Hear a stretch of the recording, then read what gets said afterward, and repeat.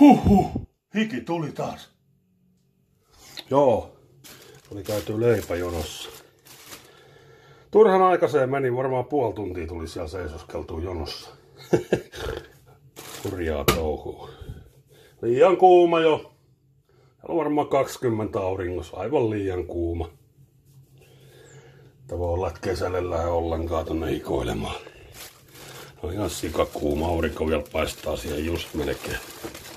Mitäs sieltä nyt taas löytyy? Tuollaista salaatin tynkää.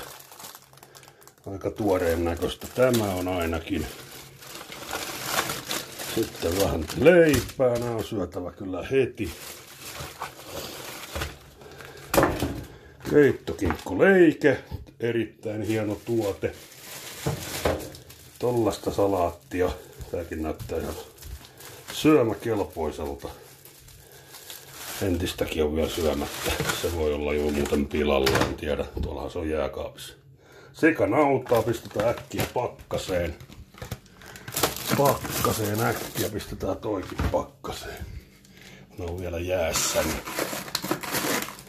siellä on sitä kallista jäätelöä, tai en tiedä mitä on. Tällaisia keksejä. Yksi jogurtti. Vähän pullaa vaikka kahvin kanssa. Siinä ne sitten taas olikin. Joo, turha sinne on mennä seisoskelee turhan ajoissa. Ja sama kun menee vasta puolet. Vaikka lähtee täältä, sanotaan tossa puoli kuuden aikaa, niin kerkii hyvin vielä. Ei tarvii jonotella. Silloin yleensä ei varmaan niin paljon jonoa. Mutta tällaista. Joo, en tiedä tuo jäätelöhomma. Joku siellä komppasi, että ne on kaikki ne maustetut jäätelyt euron. Voi olla. Mutta siinä nyt kävi joku sählinki, kun se ei vissiin vähentänyt plussaa ollenkaan, kun iskin sen kortin vaan koneeseen.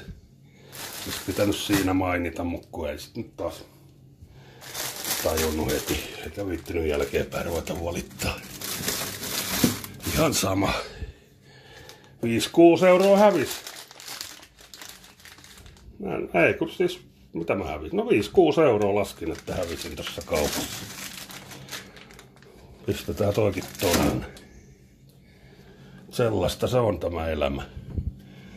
Ei se muutamasta eurosta kiinni, mutta vituttaa se raskaasti.